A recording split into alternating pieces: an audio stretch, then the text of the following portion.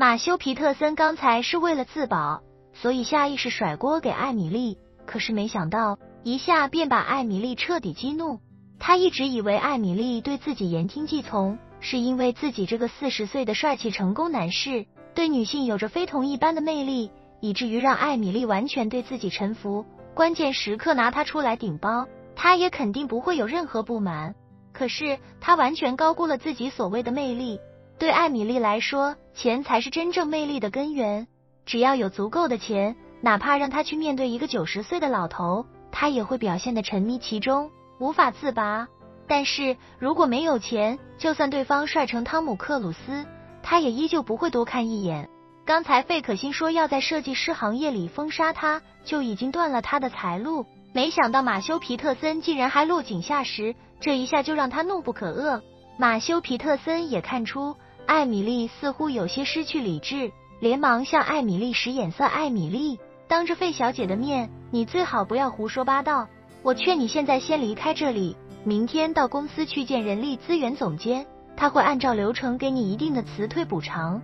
马修皮特森不敢把话说的太直白，他之所以向艾米丽使眼色，同时又说公司会按流程给辞退补偿，其实就是想告诉艾米丽，让她现在老老实实把锅背上。明天自己一定不会亏待他。可是艾米丽此时满心都是被马修皮特森落井下石的愤怒。听马修皮特森说到辞退补偿，他更是愤怒至极。因为按照公司规定，他这种入职仅仅三四年的员工，离职的补偿最多也就半年工资。而且马修皮特森虽然已经确定会将他升为高级合伙人，但按照公司规定，高级合伙人还有一个三个月的考察期。只有在考察期结束、顺利通过述职之后，才能正式拿到高级合伙人的一切待遇。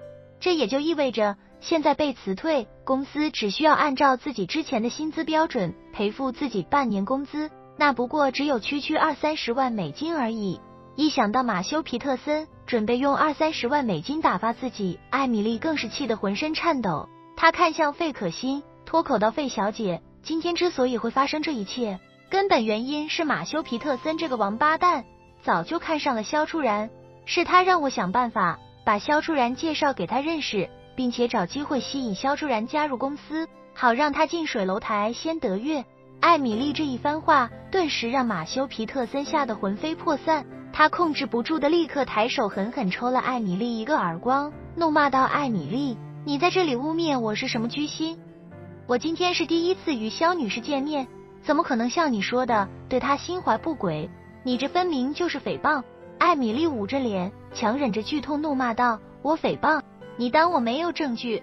说着，她立刻掏出手机，翻出自己与马修皮特森的聊天记录，在里面找到许多偷拍肖初然的照片，对叶晨和费可欣说道：“叶先生、费小姐，您二位看看这些照片的发送时间，最早的差不多是一个月前了。”那时候我才刚在大师班认识了肖初然，而马修皮特森也是在那个时候就对肖初然动了心思。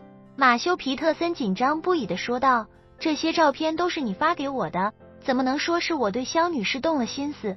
艾米丽冷声道：“不承认是吧？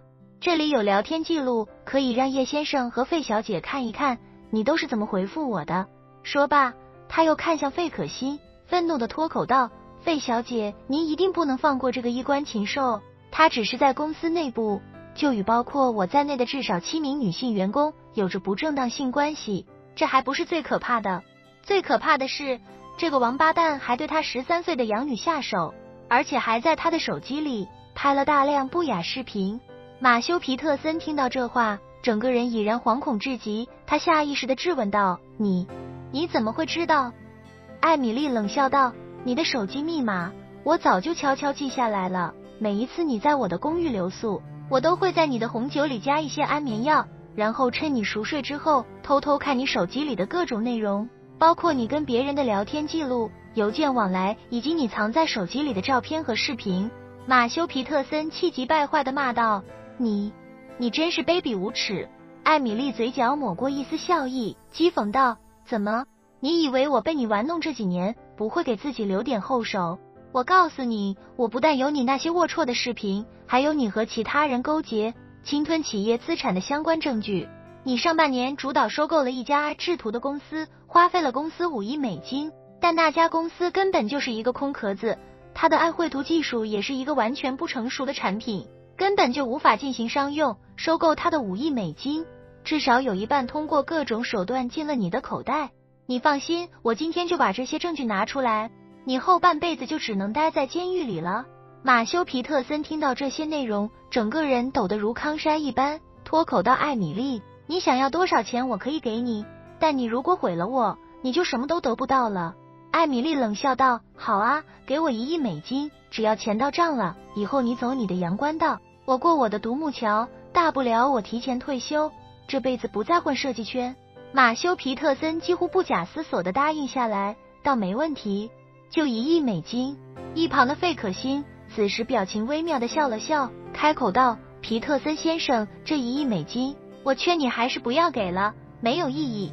艾米丽一听这话，脱口道：“这钱他说什么都得给我，要是不给，那我就把所有的证据都交给警方。”费可欣看了艾米丽一眼，淡淡笑道：“不要在这做白日梦了，别说一亿美金，就算是一美金，他都不可能给你的。”艾米丽下意识的质问道：“凭什么？他要是不给我，我就让他进监狱。”马修·皮特森慌乱的看着费可欣。苍白的解释道：“费小姐，您别误会，艾米丽说的那些事情我都没有做过。我答应给他钱，只是不想让他在外面败坏我的名声。”费可欣对他苍白的辩解耻笑一声，淡淡道：“皮特森先生，你不要忘了，费家是你们公司最大的股东，你利用董事长的职位中饱私囊，这就是贪污，而且还涉嫌洗钱，侵犯的是你们公司所有股东的利益，包括我们费家。”而我作为费家的家主，有权利要求 FB 出面对那次收购案进行彻查。所以，无论艾米丽有没有证据，对你来说都没意义了，因为 FB 一定会把被收购公司的负责人也找到，查个水落石出。另外，还有你和未成年人的行为，不管艾米丽有没有证据，我都有义务向 FB 检举，让 FB 进行调查。FB 的手段你应该是知道的，就算你们两个现在就把手机里的资料都删除。他们也有办法恢复。一旦查证这件事确实属实，那你的后半辈子可能真要在监狱里度过了。马修·皮特森听闻这话，眼前一黑，险些就要昏倒。旋即，他不假思索的跪在了费可欣的面前，哽咽道：“费小姐，我是公司的董事长，如果我被逼抓走，公司的股价一定会暴跌，到时候费家的投资也会受损。求您看在这个份上，高抬贵手，放我一马。”您也不希望看到费家投资的二三十亿美金受损吧？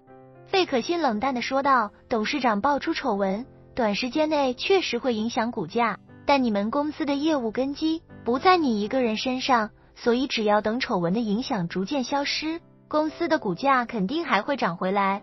顿了顿，费可欣继续道：而费家有的是资金，也有的是时间和耐心，到时候完全可以利用股价这段时间的暴跌。低价从那些没有这么多资金、没有这么多时间和耐心的股东手里收购到更多的股份，等费家拿到董事会的多数投票权，就可以任命新的董事长来接手你们公司。这样的话，等股价涨回来的时候，费家不仅能实现对你们公司的掌控，还能借机大赚一笔。所以，你如果被 FB 抓起来，对费家来说，不仅不是损失，反而是个抄底的好机会。说到这里。费可欣想起什么，继续道：“哦，对了，虽然你有公司十的股份，但你由于你侵占公司资产，导致公司直接损失五亿美金，间接损失可能达到十亿美金甚至更多。